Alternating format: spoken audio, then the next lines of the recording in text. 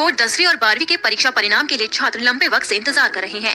लेकिन अभी उनका इंतज़ार खत्म नहीं होगा, क्योंकि कहा जा रहा है कि 13 जून से 16 जून के बीच नतीजों की घोषणा की जा सकती है।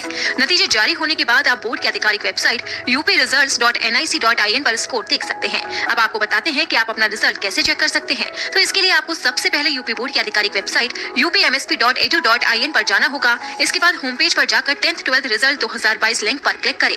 आपकी स्क्रीन पर आपका रिज़ल्ट आ जाएगा। नीचे डाउनलोड पर क्लिक कर आप इसे डेस्कटॉप पर सेव कर सकते हैं। आपको बता दें कि यूपी बोर्ड दसवीं और बारहवीं की परीक्षा के लिए कुल इक्यावन लाख बानवे हज़ार छह सौ नवासी छात्रों ने पंजीकरण कराया था।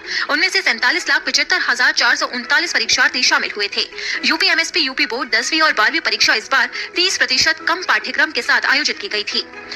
यूपी बोर्ड रिज़ल्ट 2022 को सबसे तेज और सबसे आसानी से देखने के लिए आप जा सकते हैं पी के आर रिज़ल्ट पर। दोस्तों, इस वेबसाइट को जैसे ही आप सर्च करेंगे तो ये टॉप पर आएगी दोस्तों। ऑफिशियल साइट पर क्या होता है? सब एक साथ रिज़ल्ट देखते हैं तो वहाँ पर दोस्तों आसानी से रिज़ल्ट नहीं दिख पाता। जैसे ही आप इस साइट को ओपन करेंगे तो यहाँ पर दोस्तों यूपी बोर्ड से जुड़ी पल पल की अपडेट मिल ही रही है। साथ ही साथ आपको यहाँ पर बिहार बोर्ड, नीट इसके अलावा भी बहुत सी शैक्षिक न्यूज़ मिलती है। साथ ही साथ जैसे ही यहाँ पर यूपी बोर्ड एग्ज़ाम के रिज़ल्ट जारी होंगे, दोस्तों, यहाँ पर आपको लिंक मिल जाएगा और आप लिंक के सहारे बहुत ही आसानी से रिज़ल्ट चेक कर पाएँगे। अभी लिंक एक्टिव नहीं है दोस्तों, जैसे ही रिज़ल्ट जारी होगा तो लिंक एक्टिव हो जाएगा और आप अपना रिज़ल्ट बहुत आसानी से चेक कर सकते हैं। सो so गाइज़ मिलते हैं अपने नेक्स्ट वीडियो में। Good luck for your results आपके रिजल्ट्स के लिए बहुत बहुत शुभकामनाएँ। इस वेबसाइट का जो लिंक है पी के रिज़ल्ट का लिंक डिस्क्रिप्शन बॉक्स में आप वहाँ से भी बहुत ही आसानी से इस वेबसाइट को विज़िट कर सकते हैं और अपना रिज़ल्ट चेक कर सकते हैं।